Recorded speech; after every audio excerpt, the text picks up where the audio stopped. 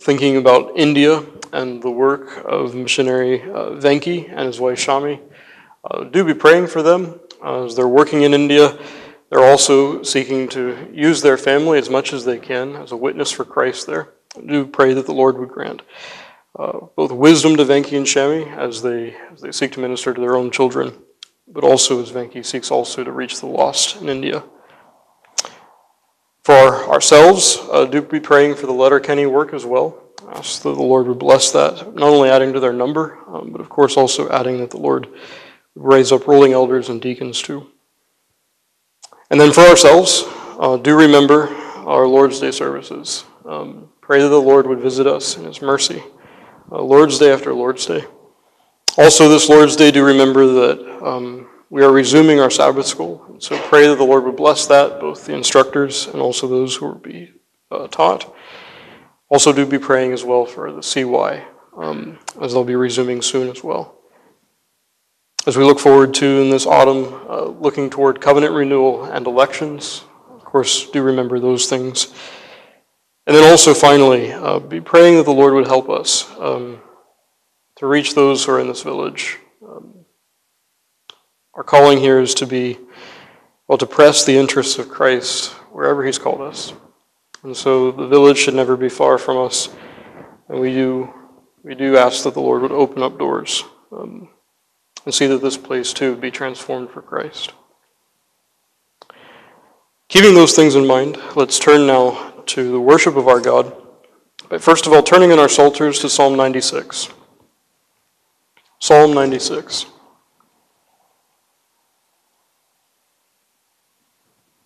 Oh, sing a new song to the Lord. Sing all the earth to God. To God sing, bless his name, show still his saving health abroad. Among the heathen nations his glory do declare, and unto all the people show his works that wondrous are. For great's the Lord, and greatly he is to be magnified. Yea, worthy to be feared is he above all gods beside. For all the gods are idols dumb, which blinded nations fear. But our God is the Lord by whom the heavens created were. Great honor is before his face and majesty divine. Strength is within his holy place, and there doth beauty shine. Do ye ascribe unto the Lord of people every tribe. Glory do ye unto the Lord, and mighty power ascribe. Amen. To the praise of our God, we take up these words Psalm 96, verses 1 to 7. We'll stand to praise God. I'd ask Mr. Billy Williamson if you'd lead us in prayer after we sing. Let's stand to praise God.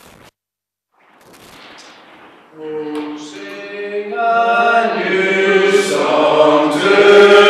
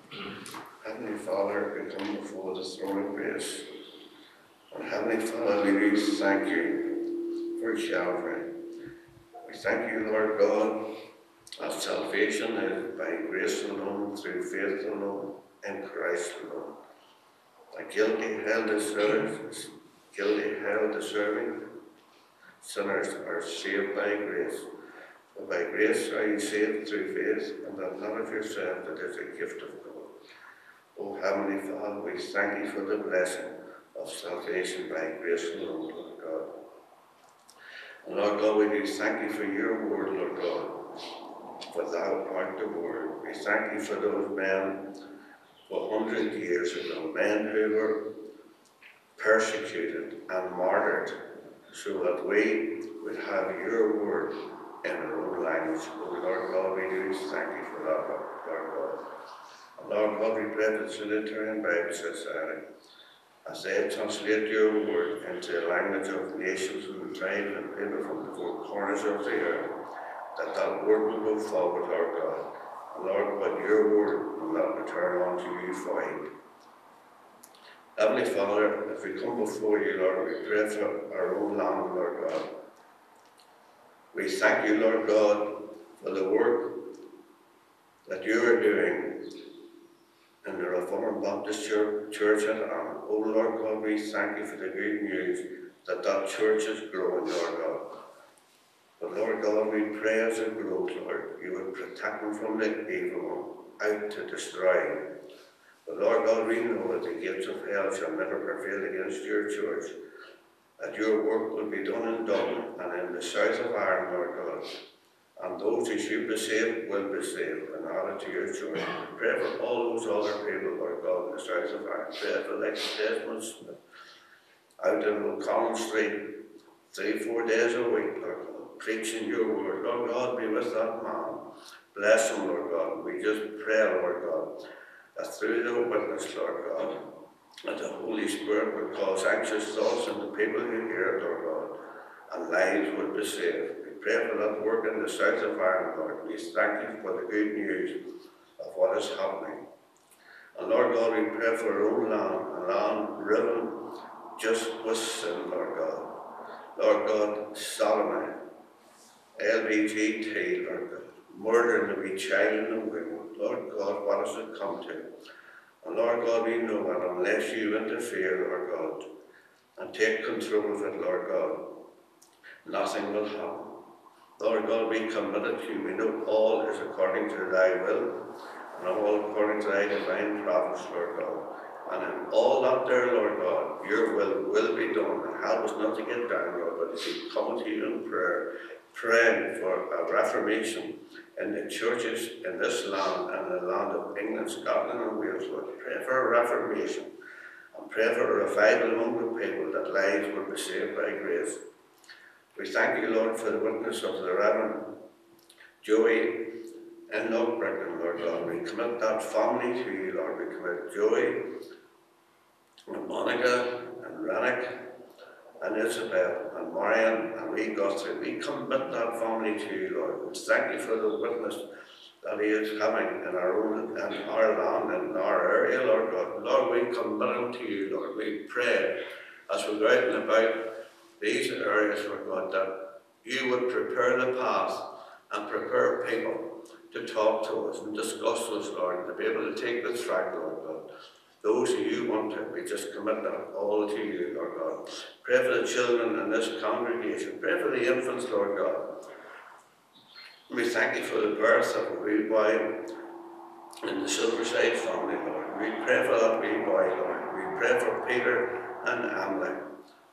And Lord God, we pray for all the older children, the children who go to Sabbath school, Lord. Pray for the older children. Pray for those who are heading back to university. Pray for those who are doing their A's, Lord God. We commit them all to you, praying, Lord God, that you would protect them and thy will be done in their life and all those children that are saved by grace early in life, Lord God. Heavenly Father, be with the congregation, be with those that are the Lord. We think of Rosemary, Lord, and Tommy and Olive, Lord God, Ina Grattan, Lord God, Kay and Phyllis, Lord God, we commit them all to you, Lord. Pray you will comfort them and be with them. We pray, Lord God, and you will comfort them as they sit about the house, Lord. Be with them, give your loving hand upon them. Pray, Lord, with growing grace for you, Lord. Pray for the congregation as we worship you. Help us to worship you in spirit and truth to give you all the praise, to give you all the glory, Lord God. That we can come to a congregation where the word of God is soundly preached, Lord God, and where a minister really wants to see people saved, Lord, and is preaching sound doctrine. We pray for those in the congregation who are not saved, Lord. We pray, Lord God, that the Holy Spirit will work in their lives as they hear the word preached, and Lord God, that they will be saved by grace. Pray for those, Lord God, with long COVIDs, Lord God. Pray for Jill Boyne. Pray for Heather, Lord God. And we pray for the uh, McGee family over in England, Lord. Pray for John McGee that you would be with him and have it be restored back to more health, Lord God. Pray for Angela and the children, Lord. Be with them, comfort them, and be with them. And bless our family home, Lord God. Lord God, we just pray that you would hear our prayers, Lord God. Forgive us all our sins, and this we pray in the name of your only begotten Son, our Lord and Saviour, the Lord Jesus Christ. Amen. Amen.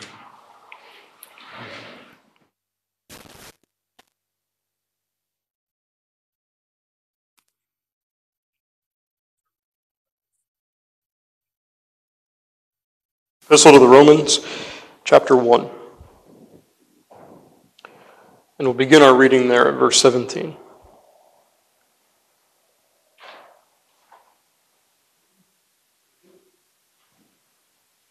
Romans chapter 1, starting at verse 18, rather.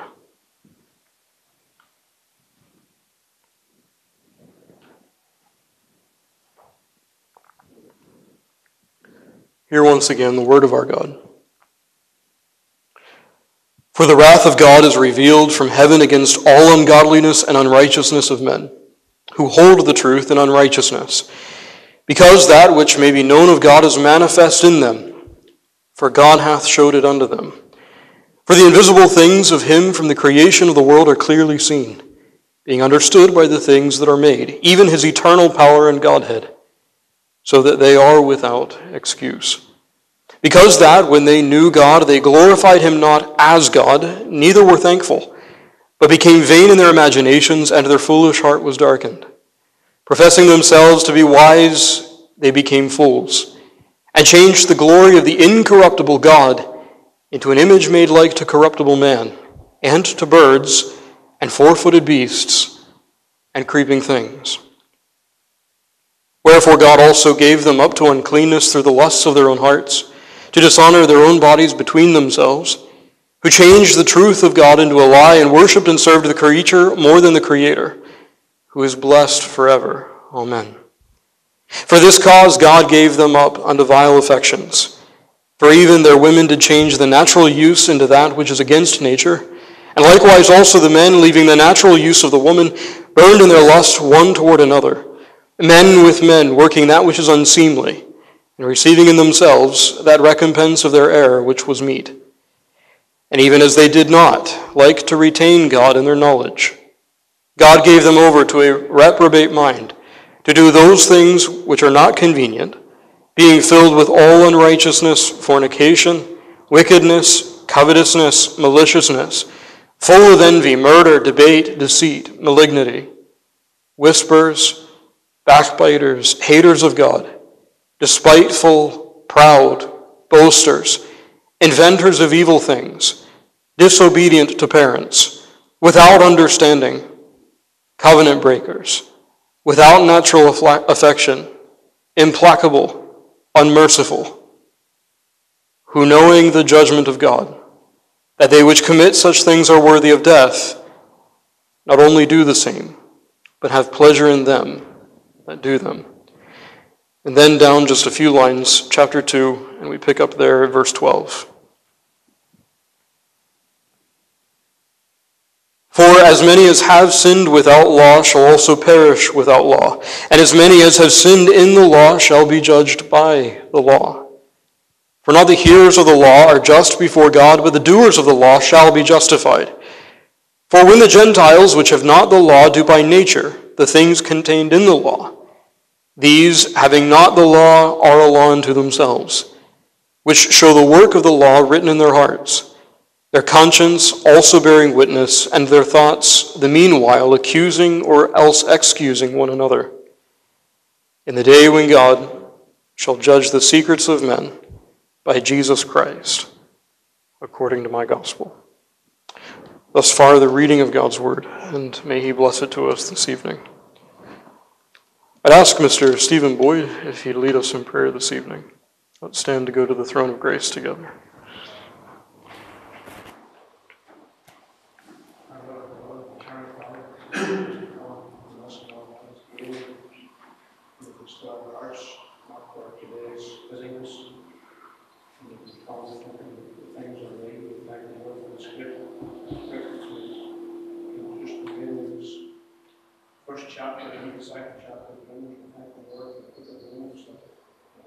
was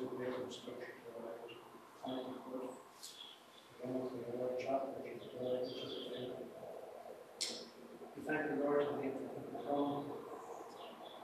We spent hearts listening to the word tonight. We thank the Lord for the good salvation. We thank the Lord for the joys in the Lord. We come with the word, listen to it. It's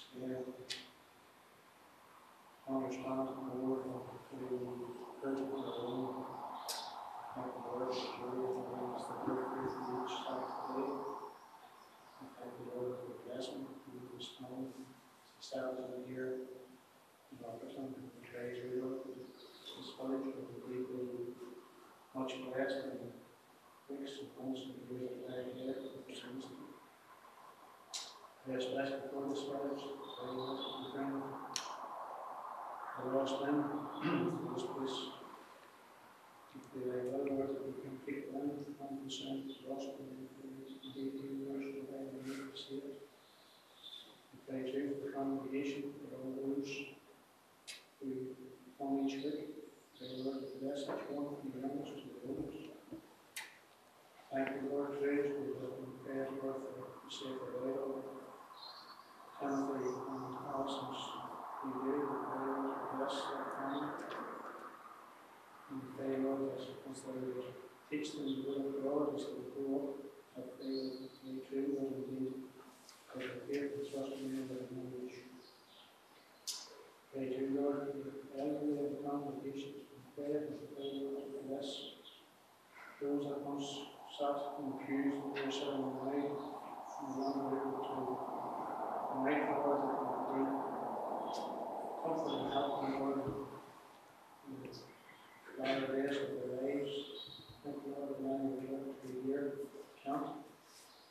And we pray, Lord, that you would comfortable, bless in and own homes. And even as they listen to a sermon from the internet, pray, Lord, that God bless them, even listening to that, and that you be with them in their day to day and Thank you, Lord, for all your wisdom. Thank you, Lord, for this word that we are having. Thank you, Lord, for the water that we are coming into, Lord. Thank you, Lord, for your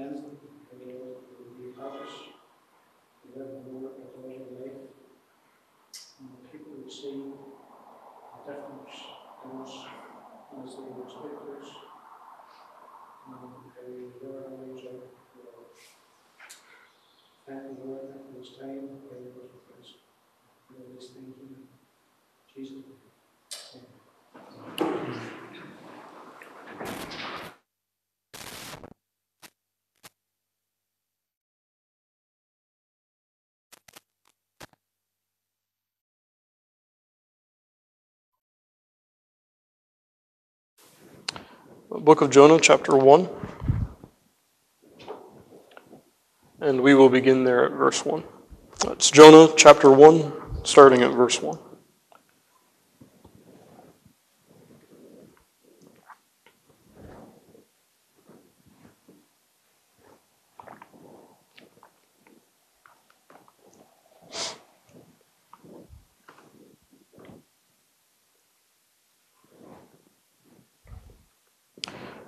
Here once again God's word.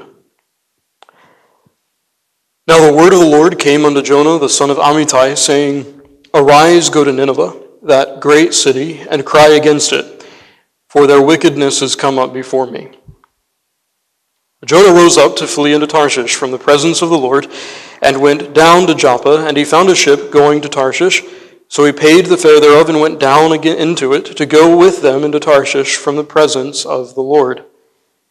But the Lord sent out a great wind into the sea, and there was a mighty tempest in the sea, so that the ship was like to be broken. Then the mariners were afraid and cried, every man unto his God, and cast forth the wares that were in the ship into the sea, to lighten it of them. But Jonah was gone down into the sides of the ship, and he lay and was fast asleep. So the shipmaster came to him and said unto him, what meanest thou, O sleeper? Arise, call upon thy God, if so be that God will think upon us, and we perish not. And they said every one to his fellow, Come and let us cast lots, that we may know for whose cause this evil has come upon us. So they cast lots, and the lot fell upon Jonah.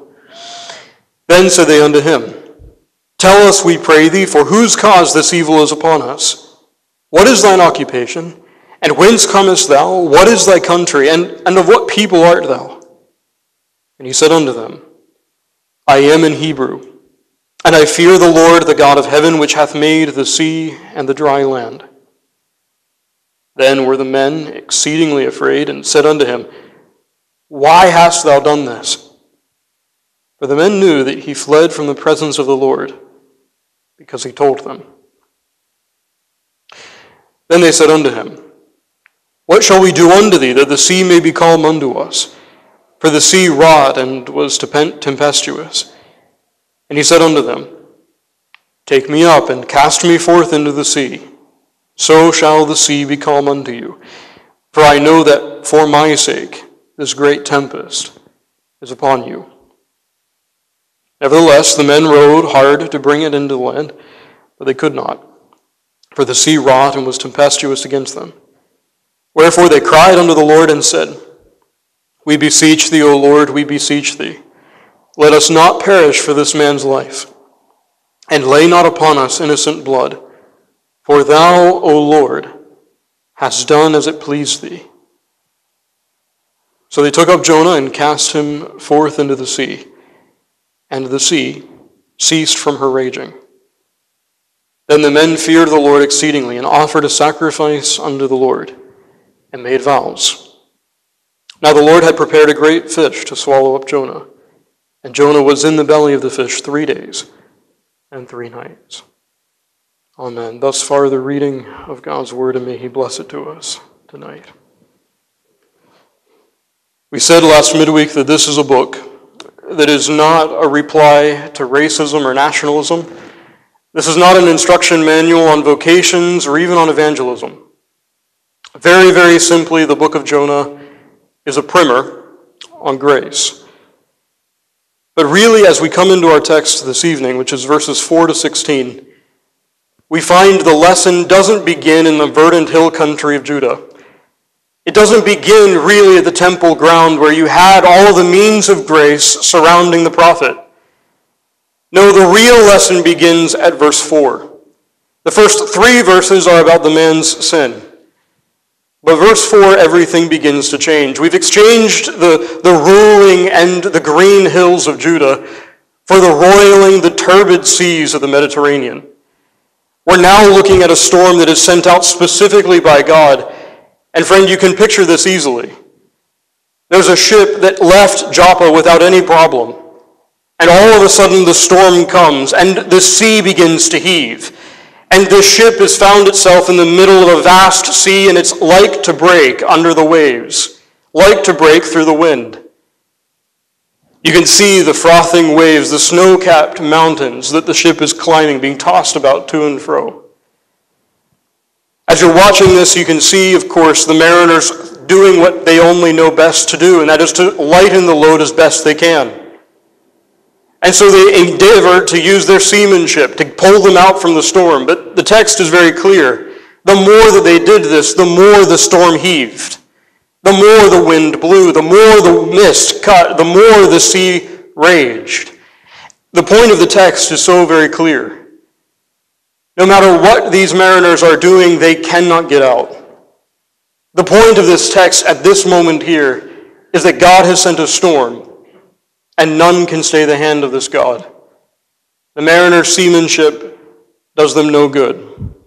And so they continue to row and they continue to throw things off and, and they continue to save the ship as best they know how. And it becomes, we, we don't know when and we don't know how, but it becomes very evident to them that this is all futile. That's the text that you have here in verse 4. The ship is going to break and they're going to die.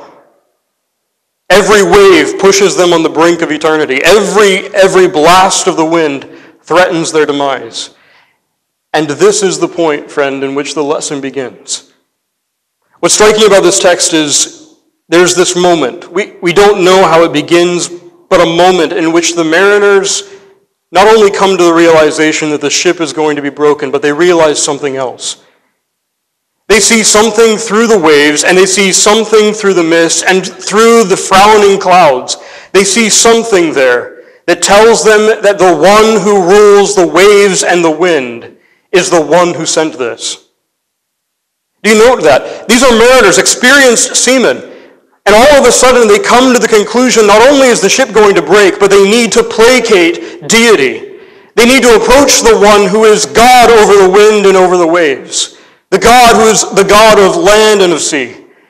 They come to this conclusion, it's a striking one, isn't it? They come to this conclusion that these frothing waves are not simply happenstance, but these things are controlled by some divine power. They come to that conclusion, and so what do they do? Well, these men, under the dim light of nature, they throw themselves before their false gods, and they seek some kind of divine deliverance. But in the backdrop is our prophet. He comes apparently, as you're looking in the original, he comes apparently above deck in verse 5, only to return at the end of the verse to go to sleep. Now, friend, that word, you ought to understand, that word that concludes verse 5 is not the idea that we often have associated with this part of the story. Jonah doesn't go down to the belly of the ship because he's tired. This word fast asleep is a word that's used to describe somebody who has fainted from, from extreme fear. And so that's the way Daniel uses it. He says, When the angel was speaking with him, I was in a deep sleep on my face to the ground, but he touched me and set me upright. He had fainted, the angel pulls him to his feet again. Again in chapter 10 of Daniel, he says this I heard the voice of his words, the angel, and when I heard the voice of his words, then was I on a deep sleep on my face, my face toward the ground. He fell as dead, like John on Patmos. That's the idea behind Jonah in verse 5. He sees also, like the pagan mariners, he sees through the waves, he sees through the frothing sea that there is a God who is angry. And it's not the pagan deities invoked by the mariners, it is Jehovah. And so what does he do? friend, this is a striking thing. He goes to the bottom of the ship and faints. He's stricken by the thought that God is now pursuing him. He fled from the presence of God, but God was not letting go of him. He was seeking him even in the waves and the wind. But, friend, as we look through this text, what you have is, in the midst of all of this frenzy, a very clear picture that the text has transitioned. We're no longer dealing with the prophet of the first three verses. The primary focus now becomes the mariners on the ship these supplicating, praying, sacrificing mariners who are entirely dimmed, as it were, from the light of the true God, they become the focus because as you look through the next several lines, all that you have really are their words, their actions, their experiences, and Jonah becomes a secondary character. What focuses the narrator's attention and what's supposed to focus our attention is how these ones respond to this manifest, manifest picture of divine power and anger. I mean, friend, I want you to notice in verse 6 they are the ones who call upon God. And note, they call upon God, they don't faint. There is some sense that there may be some hope that they could placate whatever deity really controls the waves. And then you come down to verse 14. Then they call upon God for mercy. Once they learn who the true God is, notice verse 14, they invoke his name, they call upon him for mercy, they even acknowledge divine sovereignty. And then in verse 16, once they're delivered, note what they do. They fall upon their knees back to the Lord. They sacrifice to the true God and make vows to the true God, manifestly abandoning their idols. Friend, what's striking about this text is the fact that Jonah is very clearly only in the background. Jonah is invited to make a confession. In fact, he's invited to explain why he's fallen. And note what he says here. It's a striking thing. In verse 10, they ask Jonah, Why hast thou done this? And the narrator doesn't give us a reply. Jonah goes mute. What's also striking here is that of all of the people praying in Jonah chapter 1, Jonah is not one of them. And what's also striking in this text is the storm came not because of these pagan people who were so willing to sacrifice to false gods. As Jonah himself says, this storm came because of him. It's a striking thing, isn't it? These pagan mariners seem to be pictures of devotion and supplication. And the Israelite on board, the only Israelite in the entire story, is the one who will not confess, will not pray, and is the one who is fleeing God's presence. What we can't miss, friend, at this stage is that you have a very clear picture. A picture that's going to pervade really all four chapters of Jonah, but one that we can't miss even here. And that is that these mariners, only operating through the light of nature, are shaming a man who ever lived under the light of Scripture.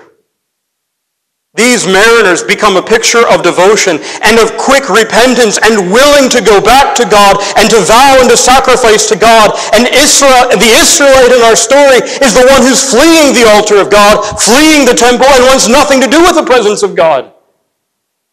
What they're doing with the little light of nature that they have and the little revelation that they've received from the prophet, Jonah has done far less with. The light of nature in this case shames those who are impenitent, who misuse the light of Scripture. And I want us to consider that under three headings then this evening. First of all, I want us to see how the light of nature urges them to respond specifically to wrath, how it urges them to respond specifically to sin, and then how it urges them to respond to deliverance. And so, first of all, friend, how does the light of nature urge these mariners, who again are living lives in paganism up to this point, how does it urge them to respond to this manifest token of divine wrath? Well, friend, I want you to notice that these men are not atheists. There was a flicker, a thought that comes upon them that, this storm is something else. Or, or maybe not even that this storm is unique. It's just the acknowledgement that he who rules the wind and the waves is there in that moment. They recognize they live in the presence of divine power. They're not atheists. The light of nature told them that there was one divine power that ruled the wind and ruled the waves, and maybe they were of the Athenian faith. Maybe they knew that there was this unknown God to them that ruled over all things, and perhaps it was he who sent the storm. We don't know that, but perhaps that's the case. At least the Athenians were of that mind. But here, friend, the light of nature told them that there was a God who ruled over the wind that was beating their ship who rode over the waves that was like to crush them and to throw them into death. They had that much knowledge.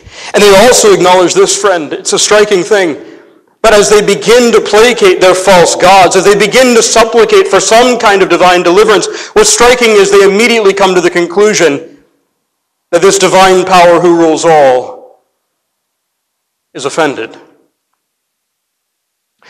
In other words, friend, they live in a world in which evil is despised by the one who, who controls all things. They knew that much, and so they cast lots. The light of nature told them that he who has created all, at least, is a God who despises sin.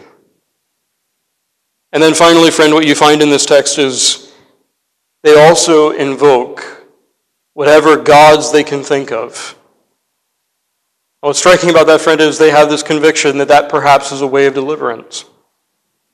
Perhaps he who has created all things, who has demonstrated his goodness, as we'll see in a moment, perhaps he also will have mercy.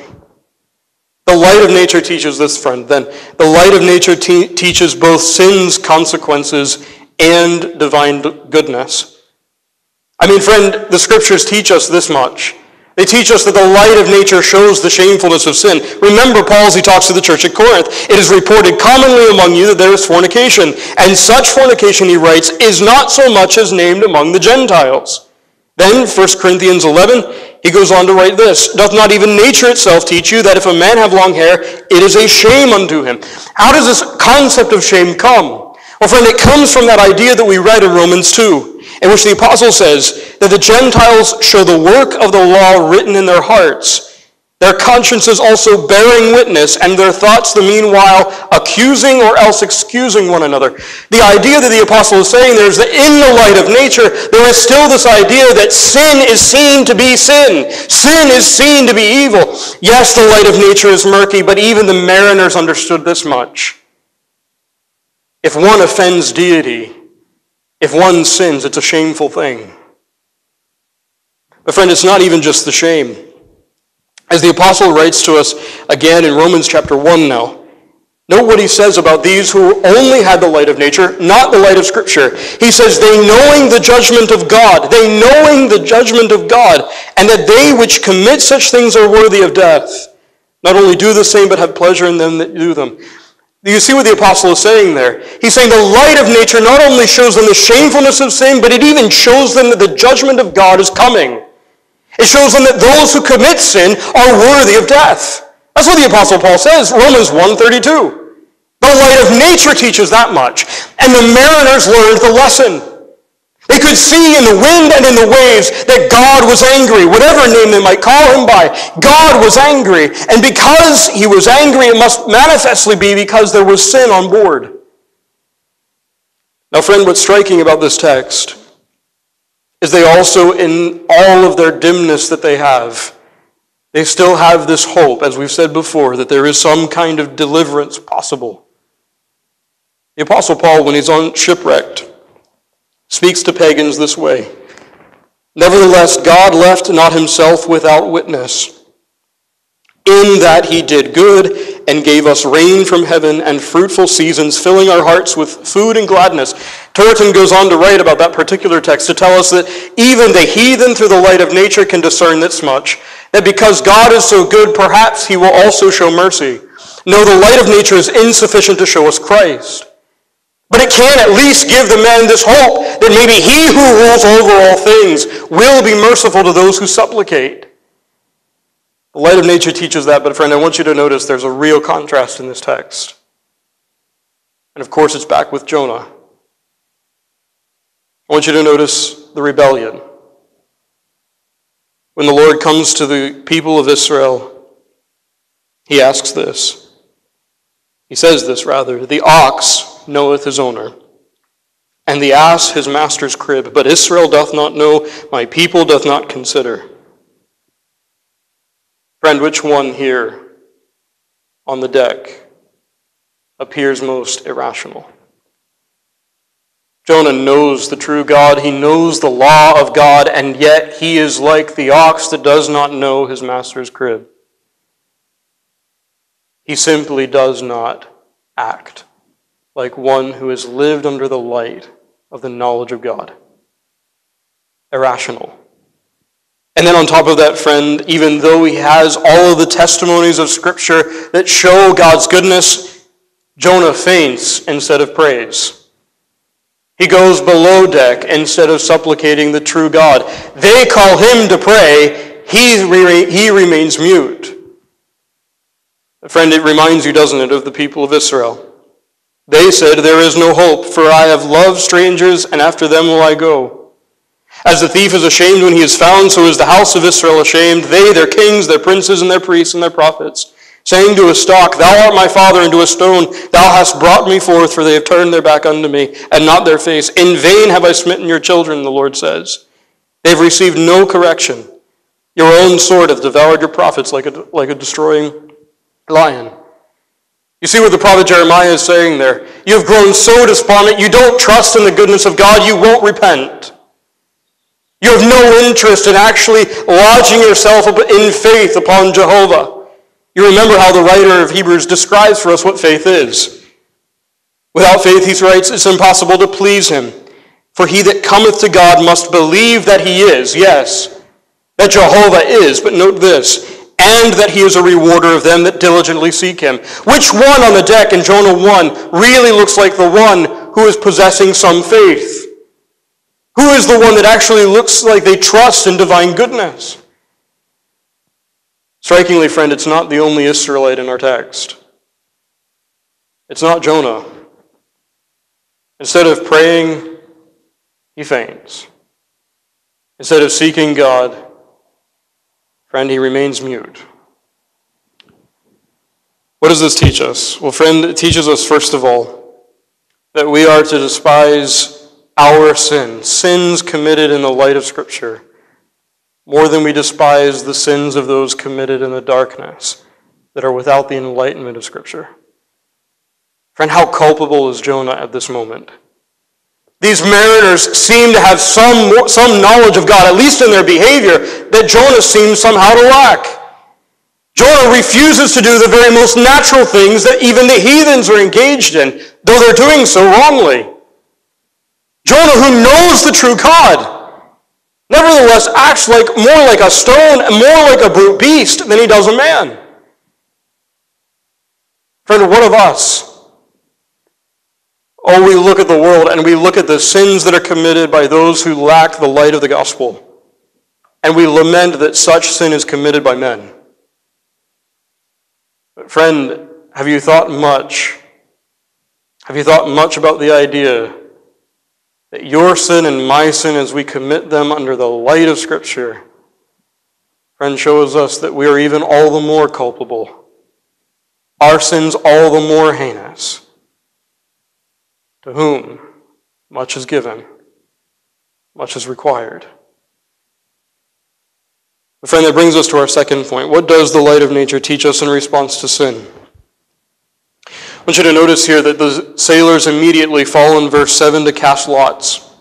Uh, this could lead to a digression, but you notice here that the light of nature teaches this much that the use of lots and lot casting is not for recreational purposes, it's for very specific religious purposes. Um, and this is not just for pagans, this is all throughout Old and New Testaments. The light of nature teaches us that much because they're invoking the one who rules the lot, the God of providence. And so, what are they doing? They're seeking through the lot to find out the sin that's among them. What's striking, friend, is once they find the sin, as we already read in verse 10, they're the ones who issue the rebuke. Those who had only the light of nature, note what they say to the prophet who has the light of Scripture. Why hast thou done this? And Jonah remains silent. The light of nature accuses sin, even in its dimness, even in its murkiness. Even these mariners could see Jonah was inexcusable. And finally, friend, it's a striking thing in this text, but as you come to verse 14, not only do they accuse sin, find it inexcusable as they do in verse 10, but in verse 14, know what the mariners do. They're afraid of contracting more guilt. The light of nature teaches them this much. They don't want to contract any further guilt. Sin is something now that they're seeing is something that's to be shunned, not to be indulged in. What does this teach us? Oh, friend, it teaches us, even nature teaches us, that a man must repent. Though it can't teach them that faith in Christ will save, it teaches them this much that man must flee from sin.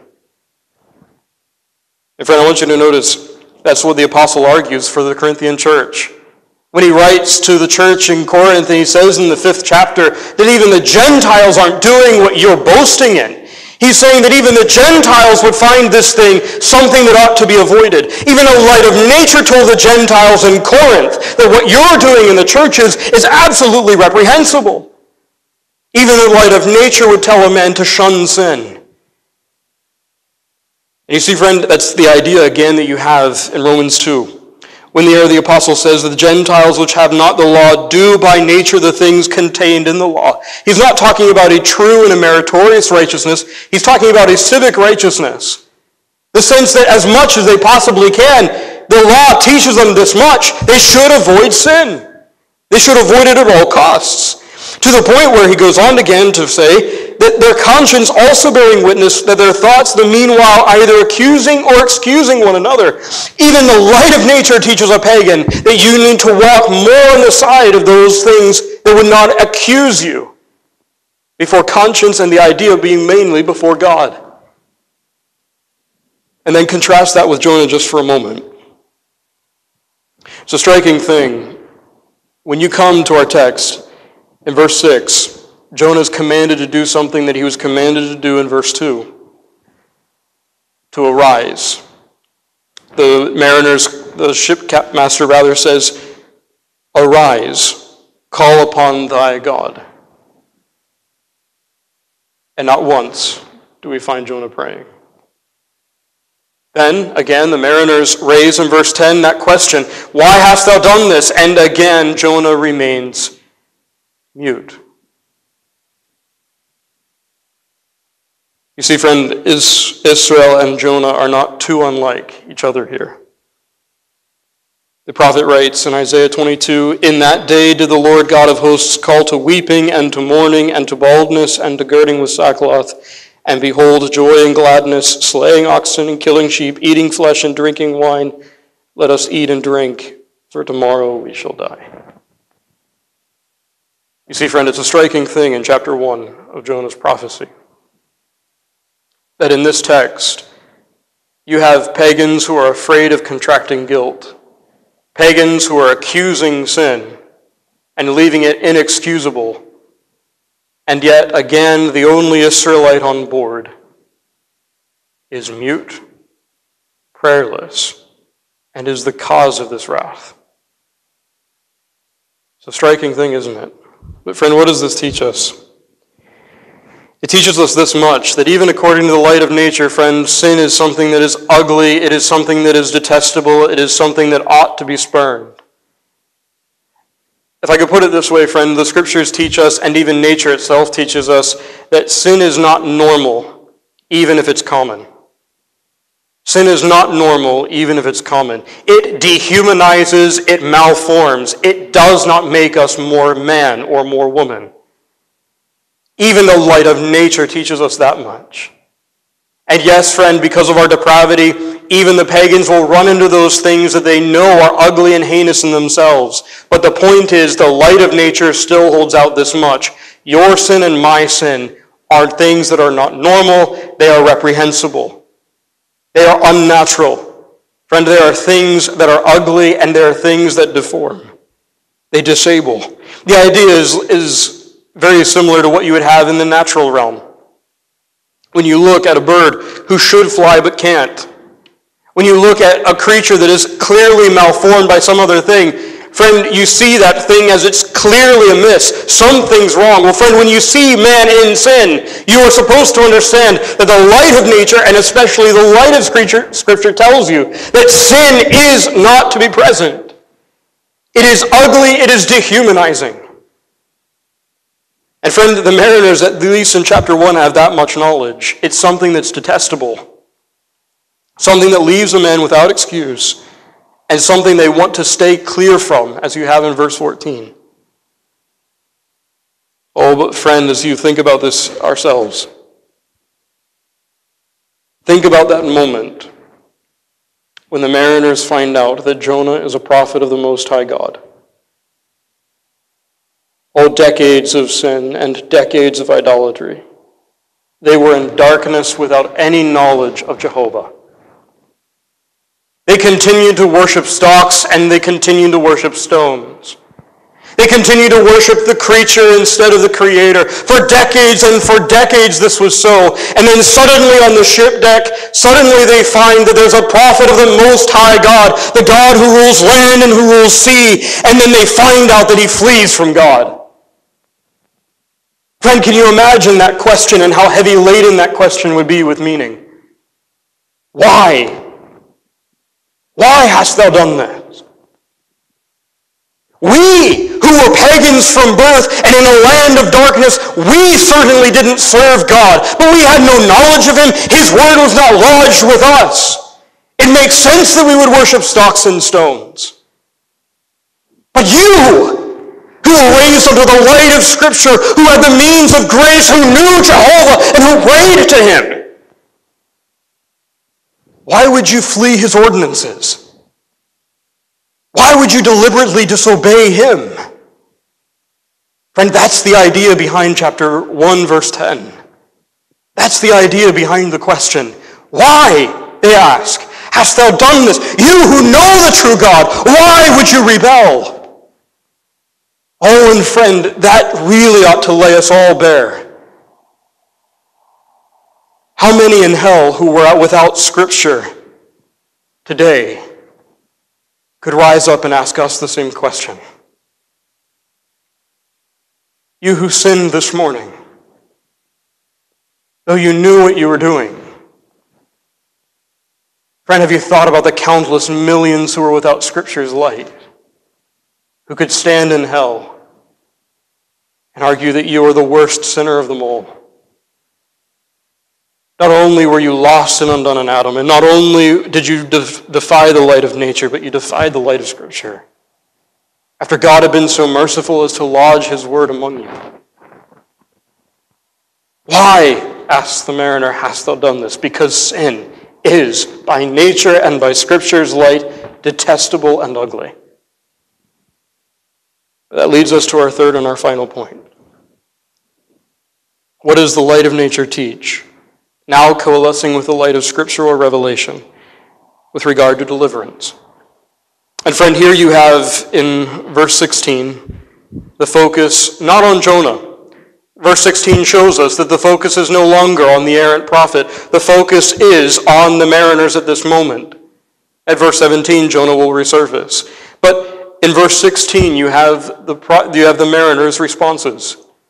They're vowing and they're paying to the Lord. You know what's striking, friend? If you hold this verse in light of what you have in verses th- verse 3, the beginning and end of verse 3, where Jonah is fleeing the presence of God, the ordinances of God.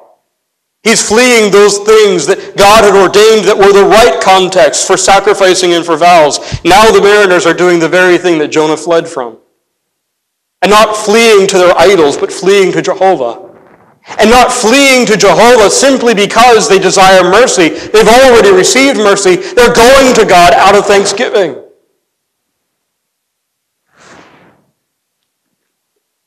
Friend, as we close, what you have in this text is a picture of how the scriptures show us the right response to deliverance, and how even a pagan with very little light of scripture now can make great use of what the Lord gives.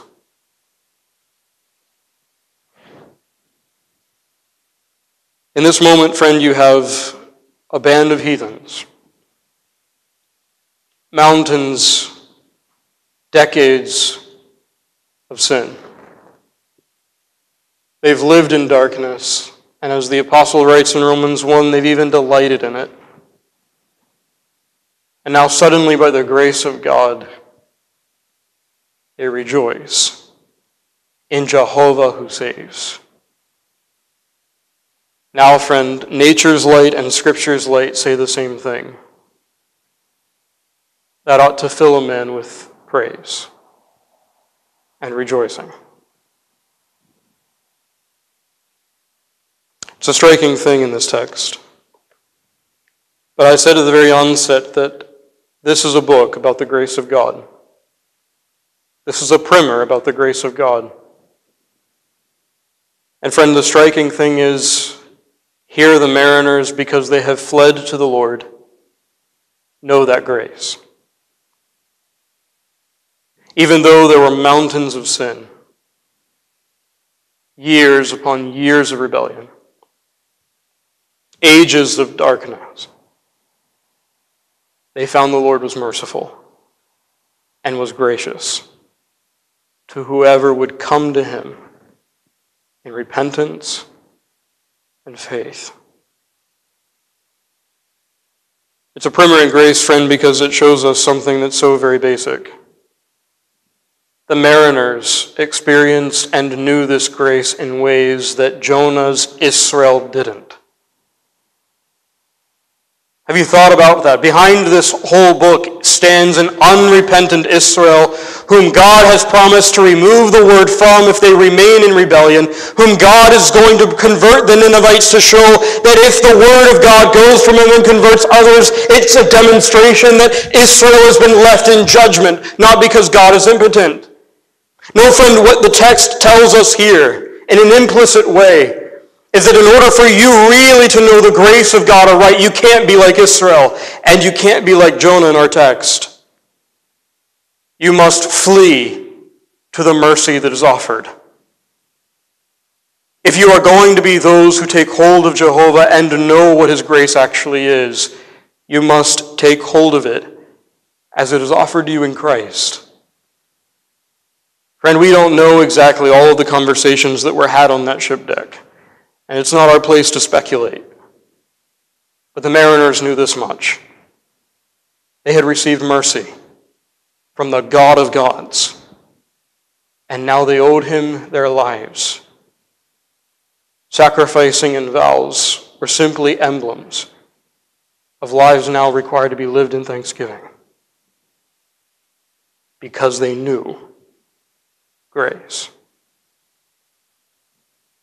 Calvin tells us that this whole book, the full four chapters of Jonah, are really about one thing. Their purpose is not to teach us about racism or nationalism. Their purpose is not to teach us about vocation, and certainly nothing to do with the big fish, really. The purpose is to show Israel in Jonah's day what repentance really is. In other words, friend, to show those who sit under the light of Scripture day in and day out what sin is, and the only way to know what grace is. And that is by repentance and by faith. Calvin says this is to stir them up to jealousy when they see Nineveh converted. Why? Because they're supposed to see their own stupidity, their foolishness, and not only transgressing the light of nature, but even transgressing the light of Scripture. God willing, next week we'll take up verses 16 again and also verse 17 as we continue, as we continue to look at this book, as it shows us the grace of God. Amen.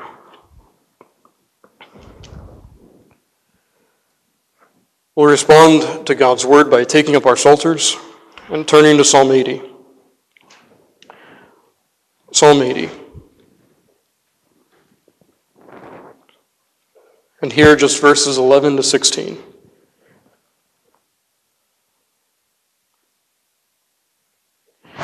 On the one hand, to the sea her bows she did send out, she did outsend. On the other side, under the flood, her branches did extend. Why hast thou then thus broken down and taken her hedge away, so that all passengers do pluck and make of her a prey? The boar who from the forest comes doth waste it at his pleasure. The wild beast of the field also devours it out of measure. O God of hosts, we thee beseech. Return now unto thine, look down from heaven in love. Behold, and visit this thy vine. You see, friend, this is what Israel should have prayed. And in a sense, this is what the mariners did pray. And friend, they found that the Lord was merciful and gracious. May we pray even as we sing. Psalm 80, verses 11 here to 14. And then I would ask uh, Mr. Billy Kemps if he'd close us in prayer. Psalm 80, verses 11 to 14, and we'll stand to praise God.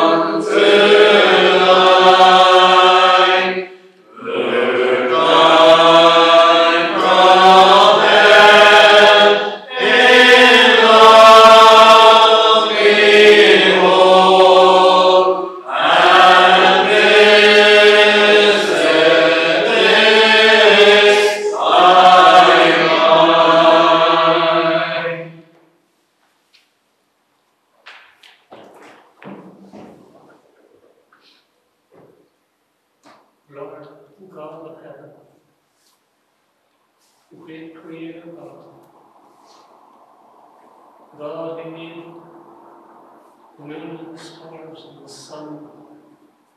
With God these near the measurements and the mighty seas. Father, it is for thee we come this night. And Lord, we thank thee for our salvation in Lord Jesus Christ. Thank you, O God, that you opened up our hearts to see our sin in all its righteousness. And Father, as your word has been opened out to us this evening, Lord, we've seen that sin once again. O Lord, we have not done as we have often done this day. We've sinned against you in so many ways.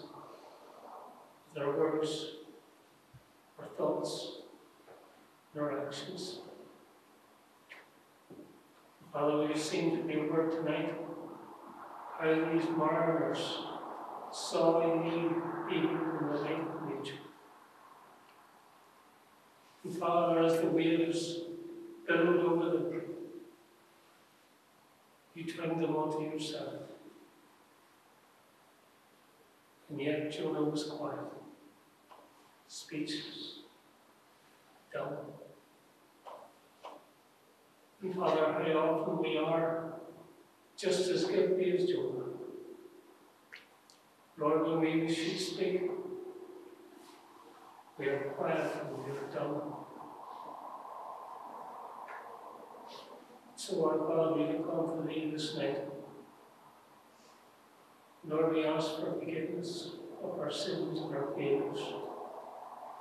And we ask, O God, that you would help us to be witnesses for thee. Even in the midst of the storm, guide our thoughts, our minds, in our hearts towards Thee. Lord, when opportunities come, and they come so often to us, but we shun to speak to Thee. Help us, Lord, to remember what we heard this night from Scripture, from Thy servant. Help us to remember, God, that we are not to be done that we are not to be silent. But rather, Lord, we are to bold and mighty witnesses for thee. Lord, help us. Continue to teach us from your word. We thank you for your servant who brought that word to us this evening.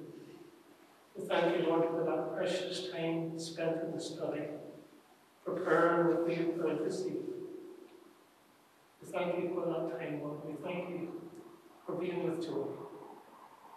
And we pray, Lord, that you will continue to be with him now and the days ahead. And as he would go through the study once again, we do work the Sabbath day. Lord, be near unto him.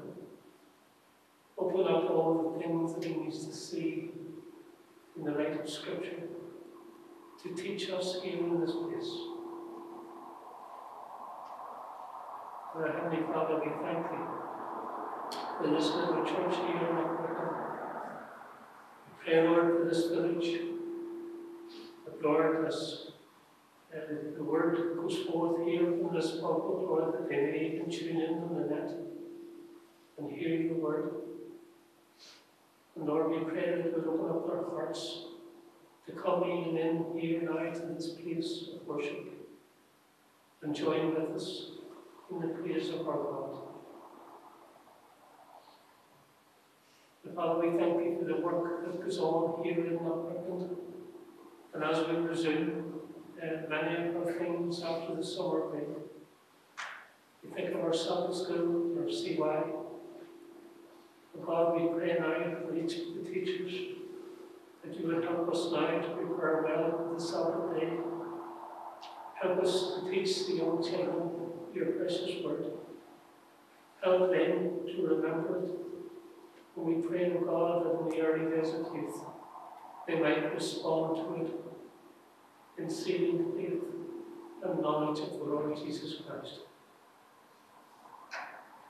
Oh, Heavenly Father, I we pray for this village and for all who are in it, with the and old. Be merciful to them our Heavenly Father, as we plan our uh, year ahead, and especially the, the elections which we will have in the not too distant future, we pray, O oh God, that you would raise up men in this place to become elders and deacons. Lord, that this place would be a Bethel unto men. Lord, grant us thy help in the coming Mass. Lord, as we renew our covenant, renew it with thee, we pray, O God, that you would help us to see exactly what we will be saying. Lord, that this is binding even in the years to come. So, O God, hear these our prayers. Continue to bless us and we part one from the other. And again, forgive us our many sins I do in the blood of Jesus Christ. For said, this name we pray. Amen.